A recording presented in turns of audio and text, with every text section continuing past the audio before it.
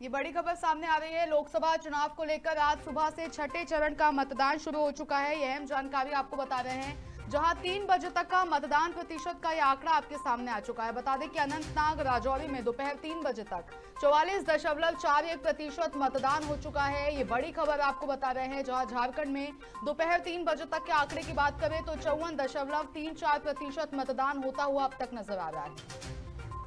वहीं उड़ीसा में दोपहर तीन बजे तक अड़तालीस दशमलव चार चार फ़ीसदी मतदान हो चुका है। ये तीन बजे तक का आंकड़ा लगातार आपको बता रहे हैं।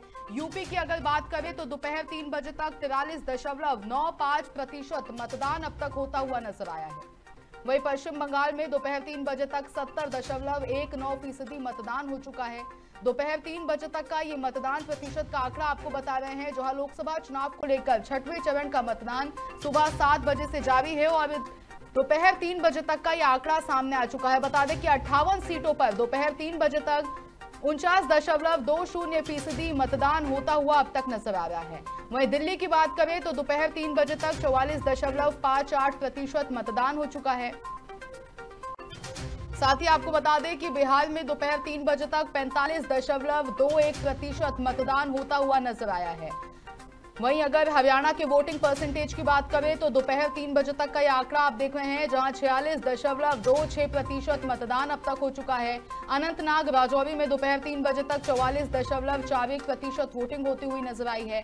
ये बड़ी खबर इस वक्त की सामने आ रही है। लोकसभा चुनाव को लेकर झारखंड में दोपहर तीन बजे तक का आंकड़ा आप देख रहे हैं। चौवन दशमलव तीन चार प्रतिशत मतदान अब तक हो चुका है। साथ ही अगर बात कर ले उड़ीसा की तो दोपहर तीन बजे तक अड़तालीस दशमलव चार चार प्रतिशत मतदान होता हुआ नज़र आ रहा है। ये बड़ी खबर लोकसभा चुनाव से जुड़ी आपको बता रहे हैं। वहीं उत्तर प्रदेश की बात कर लेते हैं। दोपहर तीन बजे तक का मतदान प्रतिशत आप देख रहे हैं।